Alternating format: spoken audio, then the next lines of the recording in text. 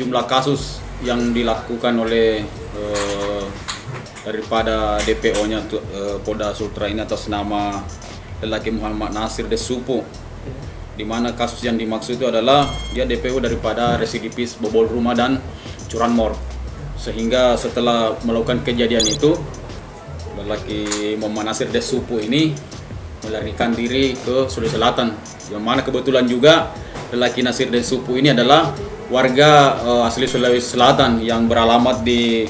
apa Dusun Borloe, Desa Palantikan, Kecamatan Patalasang, Kabupaten Goa.